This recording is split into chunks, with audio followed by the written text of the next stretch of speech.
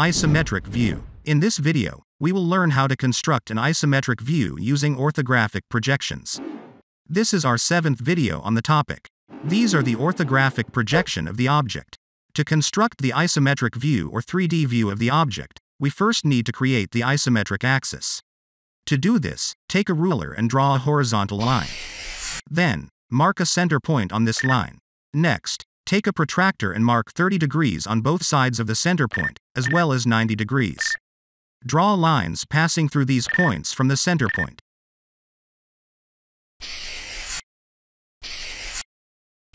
The line passing through the 30 degree mark will be the x-axis, the line passing through the 90 degree mark will be the y-axis, and the remaining line will be the z-axis.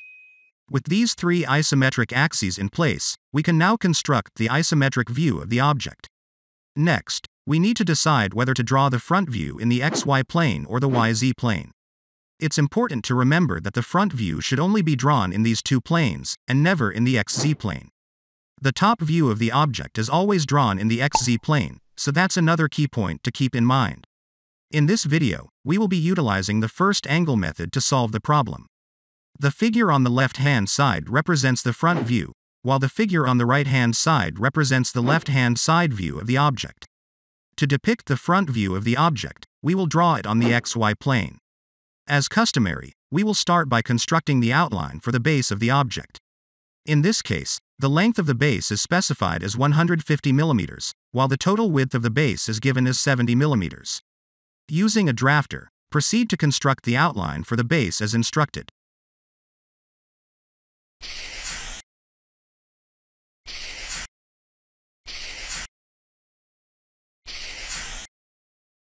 Next, in the left-hand side view of the object, we observe that the thickness of the base is 30 mm.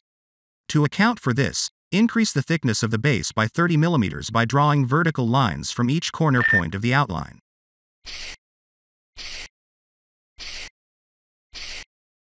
Finally, join the endpoints of the vertical lines to complete the base.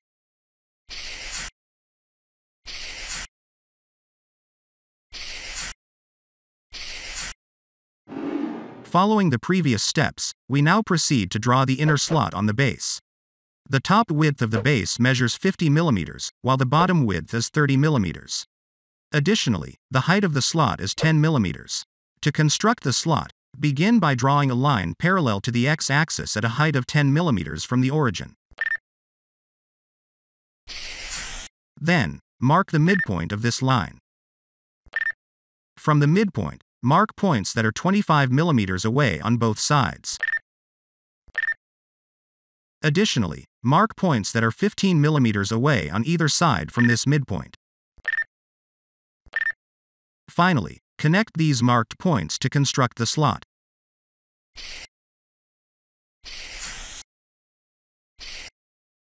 Make sure to include all the required details within the slot. This marks the completion of the base of the object. Now, let's move on to constructing the top portion, which consists of two parts, the center portion and the two side portions. The center portion has a width and height of 70 mm, and it is positioned exactly in the center of the base. We will begin by constructing the outline for this center portion.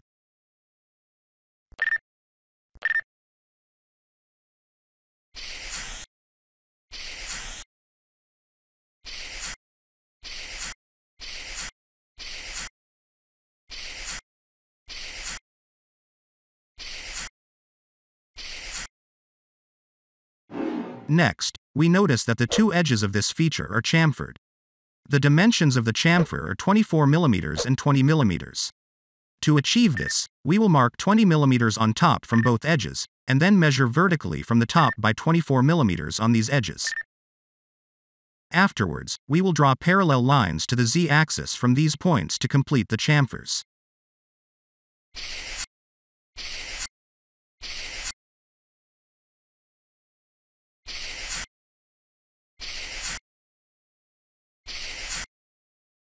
Following the construction of the center portion with chamfers, we now proceed to draw the two side features.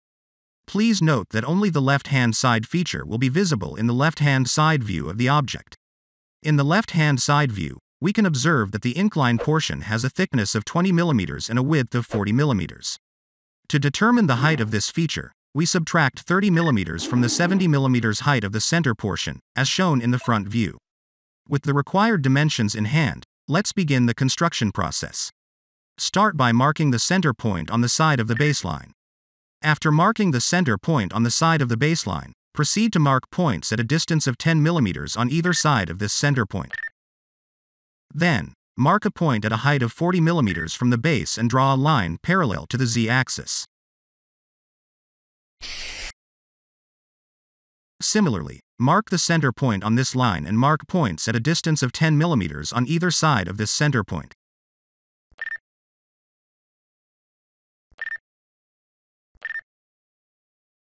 Finally, connect these points to complete the incline portion.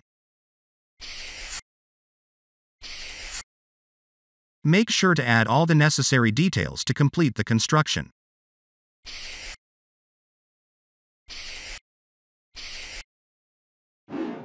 With this step, we have successfully constructed the side portion of the object.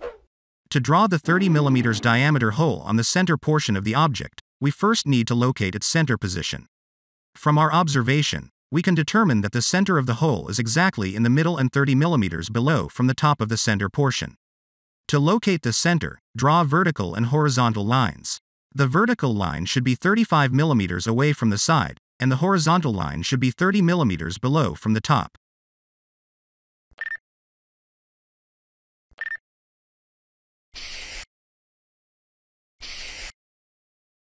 The intersection of these lines will represent the center point of the circle. Since the diameter of the circle is 30 mm, we will construct a square with sides measuring 30 mm at this center point. Construct the square as shown.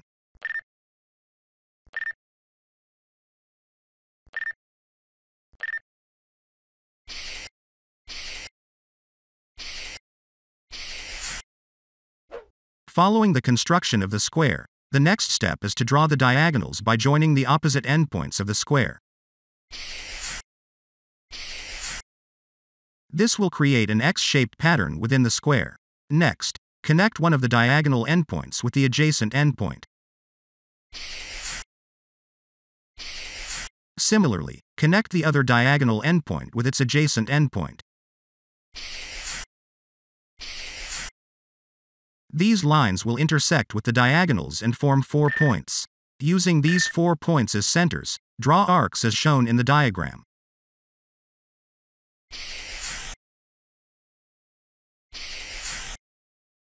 These arcs will form the curved edges of the circle in the isometric view.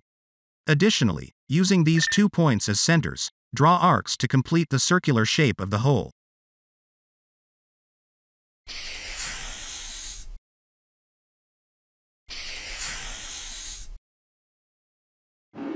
By following these steps, we successfully draw the circle in the isometric view of the object.